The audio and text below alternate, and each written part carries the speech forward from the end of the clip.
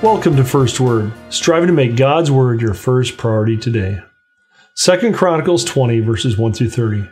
After this, the Moabites and Ammonites, and with them some of the Meunites, came against Jehoshaphat for battle.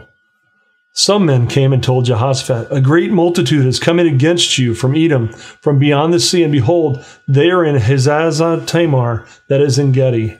Then Jehoshaphat was afraid and set his face to seek the Lord and proclaimed a fast throughout all Judah. And Judah assembled to seek help from the Lord. From all the cities of Judah they came to seek the Lord.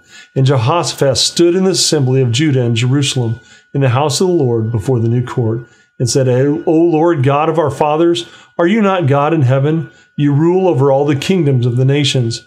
In your hands are power and might, so that none is able to withstand you.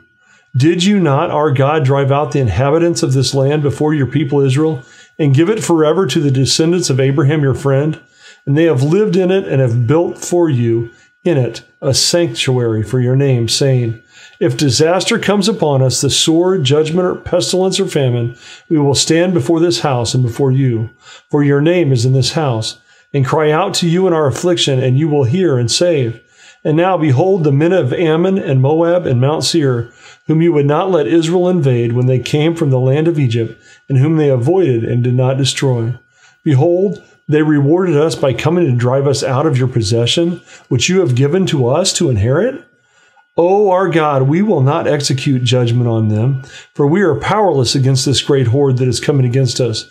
We do not know what to do, but our eyes are all on you. Meanwhile, all Judah stood before the Lord with their little ones, their wives, and their children. And the Spirit of the Lord came upon Jehaziel, the son of Zechariah, son of Benaiah, son of Jael, son of Mattaniah, and Levite of the sons of Ahaz, Asaph, in the midst of the assembly. And he said, Listen, all Judah and inhabitants of Jerusalem and King Jehoshaphat.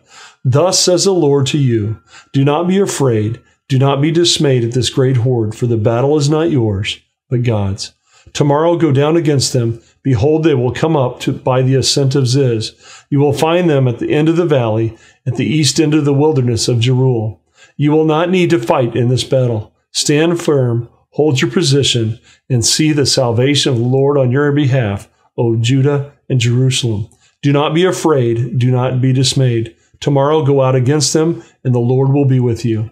Then Jehoshaphat bowed his head with his face to the ground, and all Judah and all the inhabitants of Jerusalem fell down before the Lord, worshiping the Lord. God did indeed save them. In fact, if you read the rest of the passage, the enemies killed off themselves, and the next day Judah could see them lying dead in the valley where they were stationed. Consider the complete reliance that Judah was placing upon God. Pray that we too would totally rely on God in every circumstance of life that God brings our way. Pray that God will receive the glory for the victories that are accomplished in His name. Thank you for joining us at First Word.